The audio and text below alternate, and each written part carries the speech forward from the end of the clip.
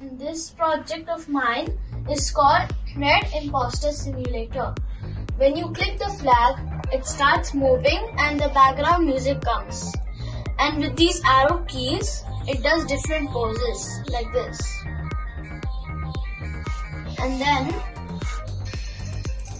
the Bright Champs uh, has helped me so much that uh, before I joined, I didn't know too much about coding. And then after now, uh, I know many things like Scratch, Thunkable and machine learning. Thank you.